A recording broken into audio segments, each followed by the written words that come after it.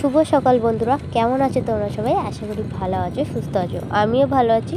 নতুন একটা সকাল, নতুন একটা দিন, নতুন একটা ব্লগ নিয়ে চলে এসেছি।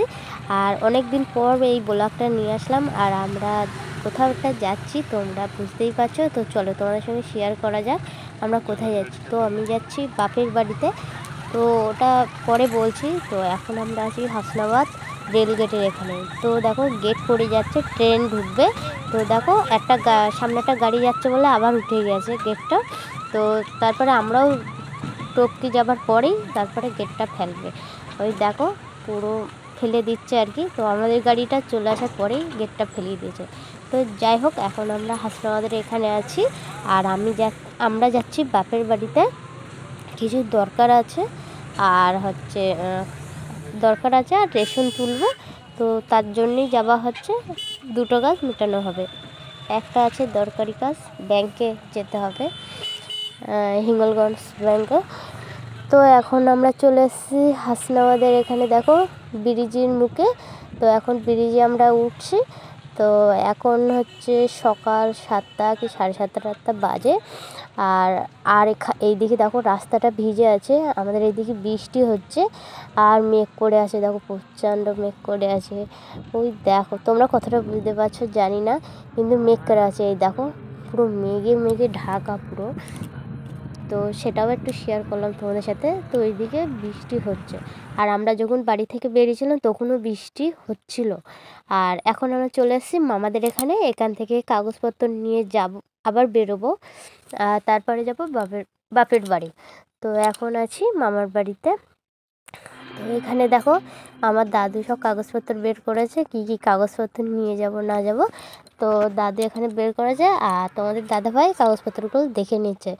কাগজপত্রগুলো নিয়ে আমরা বেরিয়ে পড়েছি আর এখন সোজা যাব বাপের বাড়ি, গিয়ে রেশন তুলবো। আর তারপরে তো ব্যাংকে কাজ আছে, হিঙ্গলগঞ্জ ব্যাংকে। আর যেতে যেতে দেখো, নাকে একটা গন্ধ লাগল রাস্তা থেকে যেতে যেতে একটা বিচ্ছিরি একটা গন্ধ আসলো। তো সেই জন্যই আমি ওরকম করছি। আর আমরা খুবই মজা করতে করতে যাচ্ছি গাড়িতে। আর গাড়িতে চড়তে তো আমার খুবই ভালো লাগে। আর বিশেষ করে আমার নিজেদের গাড়ি। তো যাই হোক, আমরা যেতে লাগি। আর তোমরা আমাদের ব্লগটা দেখতে থাকো। আর যেতে যেতে দেখো আমার খিদে পেয়ে গেছে। তাই রাস্তার সাইডে গাড়িটা রেখে এখানে খাওয়া শুরু করে দিয়েছি। তো বাড়ি থেকে যে রুটি তরকারিটা নিয়ে এসেছিলাম টিফিন কোটায় ভরে, তো সেটাই এখন খাচ্ছি। খিদে পেয়ে গেছে। তো এখন আমাদের খাওয়া দাওয়া চলছে। আর তারপরে খেয়ে দিয়ে আবারও রমনা দেবো। Hello guys back to my channel চলে এলাম আরও একটি ভিডিও নিয়ে। তো এখন আছি আমি বাপের বাড়িতে। তো আমি এখন রাস্তার ওপরে আছি। তো দেখো, পাশে খাল। আর দেখো, আমি গাড়িতে বসে আছি। আর তোমার দাদাভাই গিয়েছে পাশে এক দাদুদের বাড়িতে গিয়েছে। তো আমরা এসছি কিছু দরকারে। তো একেবার এসছি যখন, মালটাও তুলে নিয়ে যাচ্ছি। তো মালটা তোলা হয়ে গেছে রেশনের মালটা। আমার কাগজপত্র যদিও ট্রান্সফার হয়নি সেই জন্য আমি মালটা তুলতে পারছি, নাহলে আমি তুলতে পারতাম না। তো মালটা তোলা হয়ে গেছে, আর এবার তরকারি কাজটা মিটবো, সেটা হবে হিঙ্গলগঞ্জে। হিঙ্গলগঞ্জ থেকেই মেটানো হবে, ব্যাংকের ওখানে যেতে হবে। তো আমাদের সাথে এক দাদু যাবে, তো তাকে নিয়ে যাব সেই জন্য আমরা ওয়েট করছি। তো তোমাদের দাদা ভাই, তা, সে দাদুদের বাড়িতে গিয়েছে, আর আমি এখন বসে বসে বিস্কুটটা খাচ্ছি, দাদা।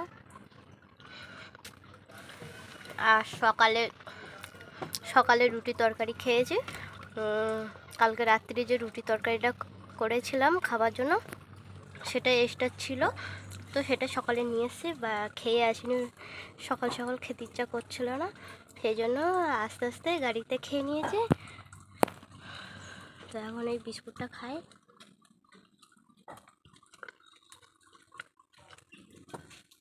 আর দেখো তোমাদের দাদা ভাই চলে এসছে। দেখি।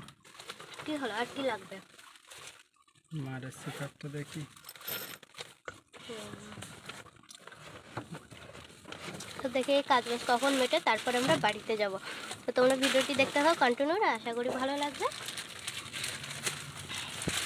আমার হাত ব্যথা হয়ে যাচ্ছে ফোন ধরে রাখতে রাখতে।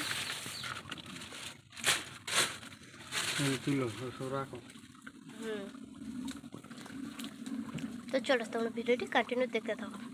আমি ততক্ষণে খেয়ে নিই। আমাদের এইদিকে এক ঝুল বৃষ্টি হয়ে গেল বন্ধুরা। রাস্তা দিয়ে যেতে যেতে দেখো রাস্তাতে জল। তোমাদের দাদা ভাই পেপার টেপারগুলো গুটিয়ে দিল। পেপার টানতে হয়েছিল, এত পরিমাণে বৃষ্টি হয়েছে। তো আমাদের কাজ তো কিছুই মিটলো না। হয়তো আবার আসতে হবে আমাদেরকে। তো পেপার টেপারগুলো গুটিয়ে দিল গাড়ির তো দেখতে পাচ্ছ রাস্তায় জল। ভীষণ টায়ার্ড লাগছে। ভীষণ টায়ার্ড লাগছে। তো এখন ফিরছি বাড়ি। বাড়ি যাওয়ার পথে দাও দিদার সাথে দেখা করে যাচ্ছি আর দিদা আমাদেরকে খাইয়ে দিল। তো খেয়ে দিয়ে এখন আমরা চলে যাব বাড়িতে। তো দেখো বাড়িতে চলে এসেছি, দুটো এগ রোল নিয়ে দুজনার জন্য।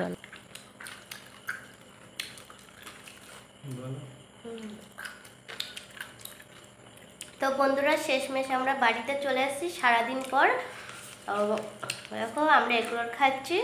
দুটো এগরোল নিয়ে বাড়িতে চলে এসেছি। এই দুটো এগরোল খেয়ে শুয়ে পড়ব কারণ পেট লোড আছে। আমরা মামার বাড়িতে গিয়েছিলাম, ওখান থেকে খাওয়া দাওয়া করেছি। তারপরে এক দাদুর বাড়িতে খাওয়া দাওয়া করেছি। আমাদের পেট অতটা খিদে নেই, সেজন্য রাত্রে এটা খেয়ে শুয়ে পড়ব।